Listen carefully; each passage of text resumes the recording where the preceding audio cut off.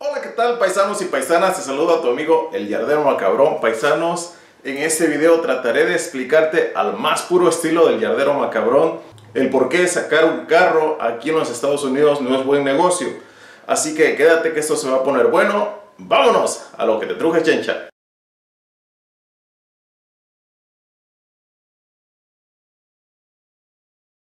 Trataré de explicarte el por qué no conviene sacar un carro en pagos aquí en los Estados Unidos. Trataré de explicártelo de una manera pues a, mi estilo.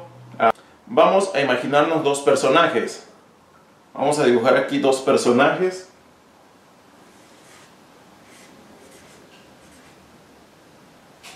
A este lo vamos a nombrar Pedro. Y acá vamos a dibujar a otro. A este lo vamos a nombrar Pablo.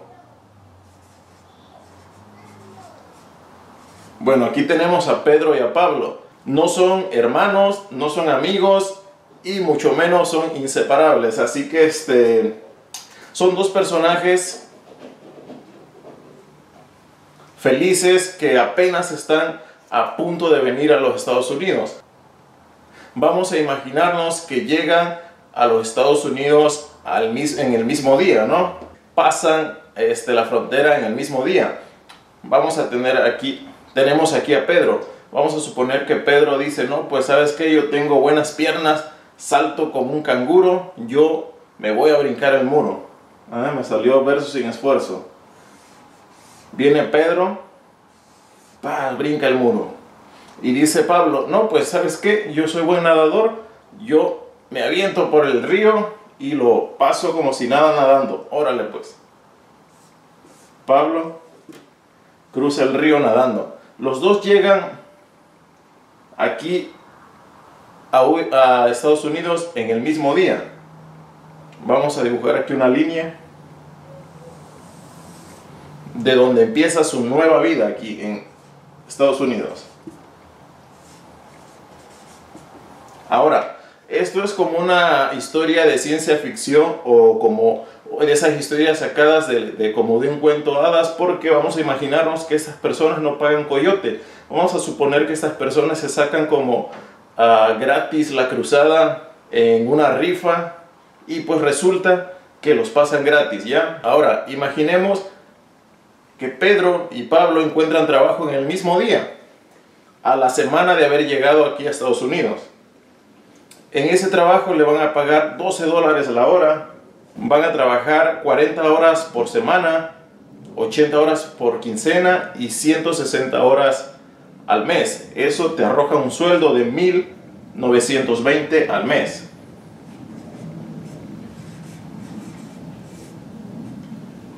Y esto es para los dos. A X trabajo, ¿no? Supongamos que encuentran X trabajo, eso no importa. Sí importa, pues, pero pues aquí vamos a suponer que ah, no importa el trabajo, ¿no?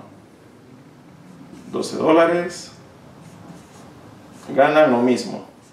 Ok, ya tenemos que los dos ganan 1920 al mes. Pero como ya están produciendo, ya están ganando, pues ya hay que pagar renta, hay que pagar comida, hay que pagar transporte, hay que pagarse sus propias cosas, ¿no? Vamos a suponer que ellos tienen, te los voy a poner en la pantalla, vamos a suponer que ellos pagan de renta 500 dólares, de comida 300 dólares, de celular 60 dólares, de transporte 100 dólares y unos cuantos gustitos que se den al mes, unos 100 dólares, ¿no? Vamos a hacer lo más positivo que se pueda. Eso te arroja a la cantidad de 1060 dólares al mes de gastos. Aquí están sus gastos. 1060 dólares igual para Pablo. 1060 dólares, ahí está. Hasta ahí vamos todo bien, ¿no? Ok, ahora para sacar lo que cuánto ellos ahorran en un mes, vamos a restar los 1920, le vamos a restar 1060 de los gastos. Y esto nos da una cantidad de 860 al mes.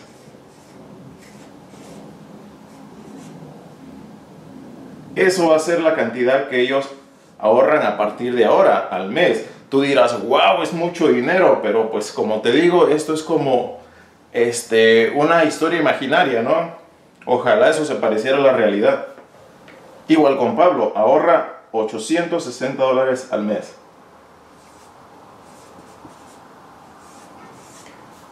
Ok, pues ya tenemos aquí que Pedro y Pablo ya esté sacando sus gastos, ahorran 860 dólares al mes. Ok, vamos a transportarnos al futuro, vamos a ir tres meses adelante al futuro.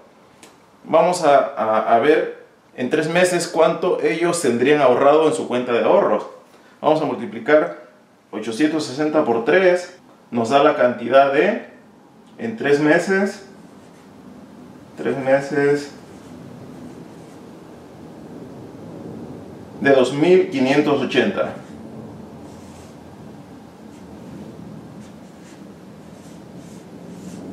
2580 2580 en tres meses.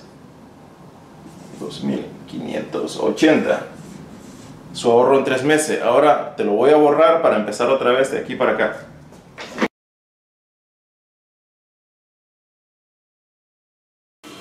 listo, vamos a empezar otra vez, porque aquí va a venir lo interesante del video.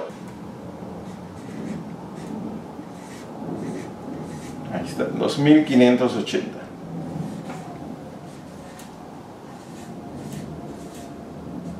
Ok, aquí va a pasar algo interesante de que, bueno, pues ya los dos ven que hacen su dinerito y ven que todo el mundo trae carro, va a decir, bueno, pues yo también quiero traer mi carro, ¿no? Para ir al trabajo, para transportarme sin estar molestando a otro.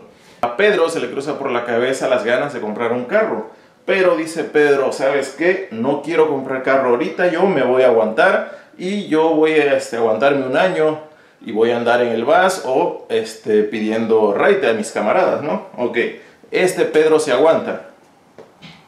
Pero Pablo, Pablo resulta que él también se le cruzó por la cabeza las ganas de tener un carro y un día iba en el bus pasando por la calle y vio unos carros en un dealer, ¿no?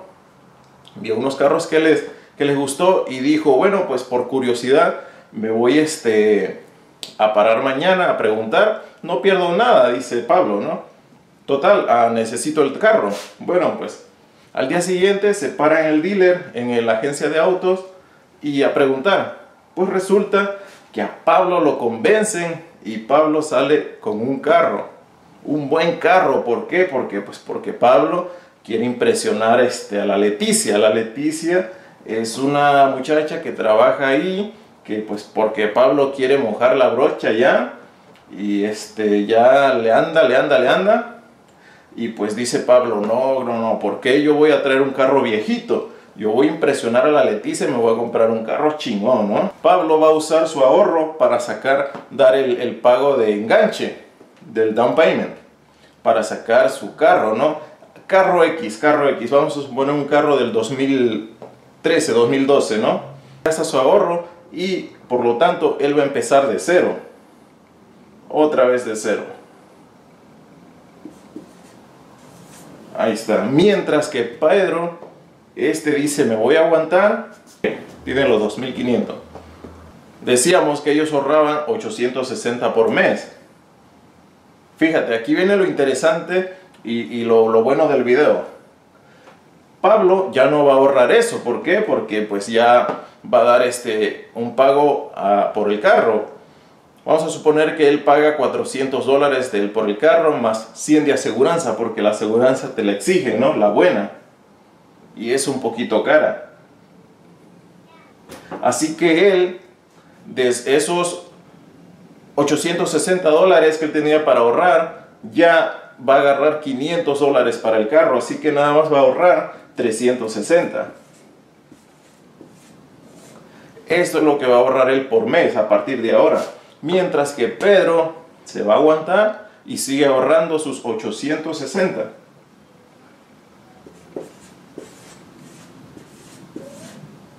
Al mes.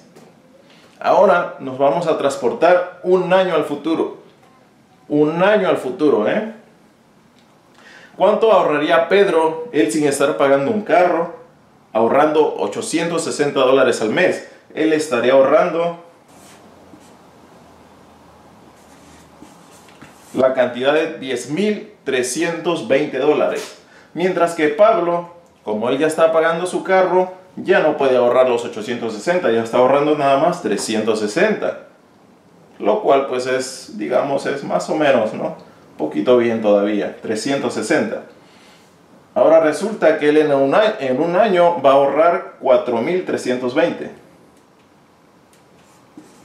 Digo, eso viéndolo de la manera más, más positiva, ¿no? Pues porque como ya trae carro va a gastar más en gas y como aparte ya quieren presionar a la Leticia, pues ya este, hay que llevar a la Leticia a restaurantes, hay que sacar a la Leticia a pasear, hay que comprarle ropa y pues ya ustedes saben, ¿no?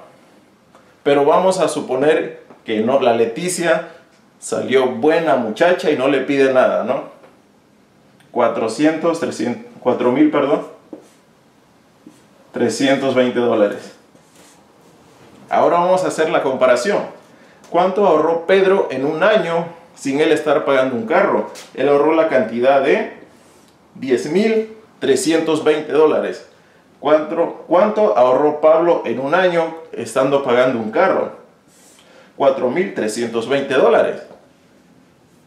Casi el doble de diferencia. Yo no, yo no soy muy bueno en las matemáticas, ni tampoco lo fui, pero lo que sí sé es que 10.320 es muchísimo más que 4.320 dólares. Ahora, ¿con, ¿con cuál de estos dos personajes te quieres identificar tú? Ya sea con Pedro o con Pablo. Y créeme que te vas a encontrar con esto en una parte de tu vida si es que ya estás aquí en los Estados Unidos o que apenas vas a venir. Y precisamente por eso hago este video para que ya tengas una idea y decidas cómo estar, si como Pedro o como Pablo. Pues como te digo, la decisión la tomas tú. Yo no estoy en contra este, de que puedas sacar un carro adelante, si lo puedes pagar adelante. Solo quiero hacerte saber de que quizás si tú ahorras un poquito más en un año, tú puedes comprar, pagar ese carro que tú vas a estar endeudado 5 años, lo puedes pagar en un año si tú ahorras. Y te evitas 4 años de estar pagando mes por mes por mes por mes. Ahora, hay muchas maneras también de aumentar tus ingresos. Si tú, si tú aumentaste tus gastos, tienes que aumentar tus ingresos, ¿ya? Puedes agarrar otro trabajo, puedes trabajar horas extras, no sé, qué sé yo. Pero algo tienes que hacer para no estar presionado mes por mes por mes por mes. Así que pues amigos, este fue el video de hoy, espero te haya gustado. Regálame un like si te gustó el video y nos vemos en el próximo video. Y no olvides que no es más limpio que el que limpia, sino que el que no ensucia. Hasta la próxima.